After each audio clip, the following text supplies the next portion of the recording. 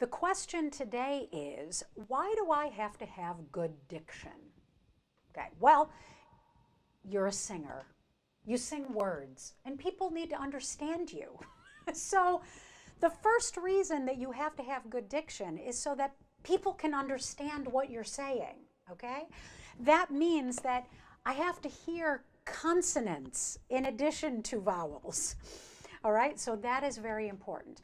But something else that's really important about diction is that good diction can actually help your voice create the kind of sound and resonance that you really want it to create. Okay?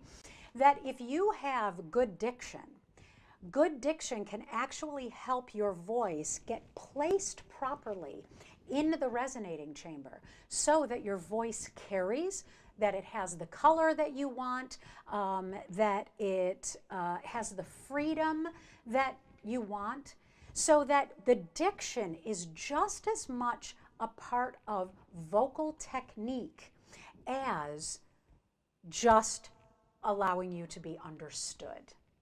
All right? So make sure that when you are singing, you are using the words to actually help bring out the meaning of the song, but also help bring your voice into the placement that it is going to optimize the beauty and the power of your sound.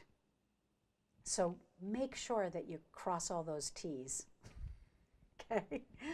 I want to hear all those consonants.